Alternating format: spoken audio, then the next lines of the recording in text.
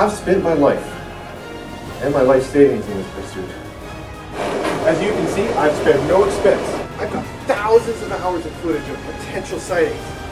They're not as good as that Bigfoot footage, but we're getting close.